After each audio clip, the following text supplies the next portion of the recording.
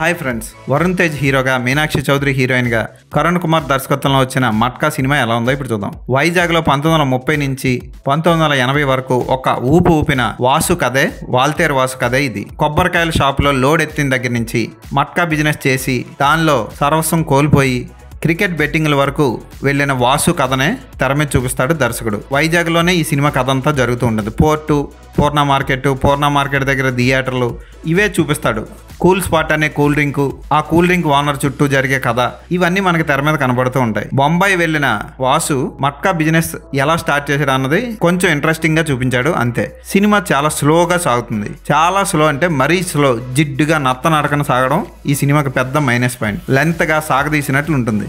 Matka business వెనక ఏం జరుగుతుంది ఎవరు చేస్తున్నారు అన్న దాని గురించి ఇందిరాగాంధీ కూడా ఇన్వెస్టిగేషన్ చేయమని పంపించడం దాన్ని నవీన్ చంద్ర ఇన్వెస్టిగేట్ చేస్తూ ఉంటాడు సంవత్సరాల తరబడి. కరుణ్ కుమార్ ఎంచుకున్న కథనం కొంచెం కూడా కొత్తదనం లేదు. కేజీఎఫ్ ప్యాటర్న్నే వాడుకుంటూ అటు ఇటు తిప్పి సినిమాని ఏదోలా తీశాడు. ఈ సినిమాలో సెకండ్ హాఫ్లో మేక నక్క కథ ఉంటుంది. ఆ కథ చెప్తున్నప్పుడు జనాలు తలగోక్కోవడం కుర్చీలు అటు ఇటు కదలడం నిద్రపోవడం హావలించడం లాంటివి చేశారంటే సినిమా ఎంత బోర్ కొట్టించిందో అర్థం చేసుకోండి. ఇలాంటి సినిమాలకి అద్భుతమైన బ్యాక్గ్రౌండ్ స్కోర్ ఉండాలి. జీవి ప్రకాష్ పరమ చెత్త బ్యాక్గ్రౌండ్ స్కోరు ఆ పాటలు ఏంటో ఒక్క రామా టాకీస్ రోడ్డు కాడ రంగురాళ్ళు అమ్మేటోడు. ఆ పాట జానపద గీతం అవడం వల్ల అది బాగుంది. అది అతను స్వరపరచకపోవడం వల్ల చాలా అద్భుతంగా ఉంది. జీవి ప్రకాష్ అయితే ఒక పాట బాగా కొడుతున్నాడు. లేకపోతే పాటలన్నీ బాగా కొట్టట్లేదు. ఈ సినిమాలో లేలే లేలే రాజా ఆ పాట వింటున్నప్పుడు సంగీతం ఎంత చండాలంగా ఉందేంటి అన్న ఫీలింగ్ కలుగుతుంది మనకి. అలాగే లాస్ట్లో ఒక ఐటమ్ సాంగ్ వస్తుంది. అది ఎందుకు వచ్చిందో ఆ పాట ఏంటో అసలు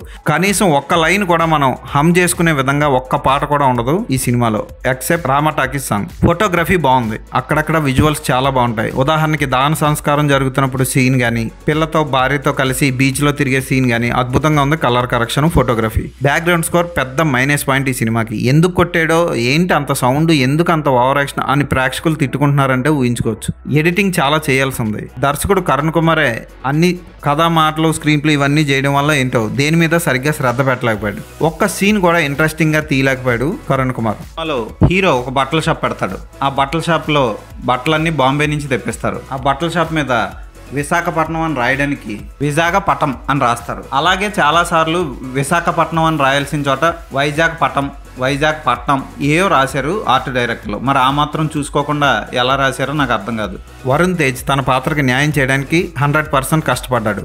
అక్కడక్కడ కోపంలో ఉన్న సీన్స్లో పవన్ కళ్యాణ్ గుర్తొస్తాడు. కొన్ని కొన్ని షాట్లు అయితే మెగాస్టార్ చిరంజీవిలో అనిపిస్తాడు. కానీ తనకంటూ ఒక సొంత యాక్టింగ్ స్కిల్స్ ఉన్నాయి అన్న దాన్ని పక్కన పెట్టి ఇమిటేట్ చేసినట్లు అనిపిస్తుంది ఈ సినిమా చూశాక. మీనాక్షి చౌదరి పాత్ర చాలా చిన్నది. అటు ఎక్స్పోజింగ్కి పనికి రాలేదు యాక్టింగ్కి పనికి రాలేదు ముఖ్యంగా హీరోని మట్కా బిజినెస్ చేయొద్దు అంటే వార్నింగ్ ఇచ్చేటప్పుడు పళ్ళు నొక్కిపెట్టేసి ఇష్టం వచ్చిన డైలాగులు మింగేస్తూ చెప్తూ ఉంటుంది.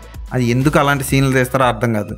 సలోని పాత్ర కానీ సత్యం రాజేష్ కానీ అజయ్ ఘోష్ పాత్ర కానీ ఓకే అనిపిస్తాయి. చివరి వరకు బాగుంటాయి ఆ పాత్రలు. కేజీఎఫ్నే అటు ఇటుదిప్పి ఇటు తీసినట్లు అనిపిస్తుంది. ఏ మాత్రం కొత్తదనం లేదు. కాస్ట్యూమ్ డిజైనింగ్ బాగుంది. ఆర్ట్ డైరెక్షన్ కూడా ఓకే అనిపిస్తుంది. కానీ ఈ సినిమా చూస్తున్నంతసేపు మీ సహనానికి పరీక్షలా అనిపిస్తుంది. ఓపిక్గా చూడాలి. ఆ సినిమా చాలా స్లోగా నడుస్తూ ఉంటుంది. డైలాగ్స్ అక్కడక్కడ అర్థవంతంగా ఉన్నాయంటే అవి కూడా టూ మచ్ స్పీచ్లు ఇస్తున్నట్లు మెదడుకు మేత పెడుతున్నట్లు అనిపిస్తాయి. అవి ఏమి అంత గొప్పగా ఉండవు బయటకు వచ్చేసరికి. రవిశంకర్ పాత్రని వాడుకున్న తీరు బాగుంటుంది. క్లైమాక్స్లో మంచి ట్విస్ట్ ఇస్తుంది ఆ పాత్ర. అంటే మంచి అద్భుతం ఏం కాదు.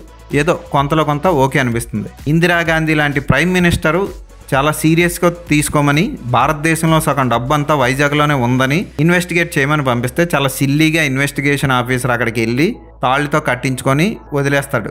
ఇటువంటివన్నీ చాలా సిల్లీగా అనిపిస్తాయి ఈ సినిమాలో. పోనీ అక్కడ ఇన్వెస్టిగేషన్ ఆఫీసర్లని విలన్ని చంపేసిన తర్వాత కూడా వాసు మీద పోలీసులు ఎలాంటి చర్యలు తీసుకున్నట్లు కనపడవు సినిమాలో. సహజత్వం కూడా లోపించింది ఈ సినిమాకి. ఓపిక్గా ఈ సినిమా చూడాలనుకుంటే చూడండి. ఈ రోజే రిలీజ్ అయిన మరో సినిమా కంగువాలో కూడా ఈ సినిమాలో కూడా ఇష్టం వచ్చినట్లు చాలా పాత్రలకి చేతులు నరకడం మనం చూస్తాం. ఏంటో?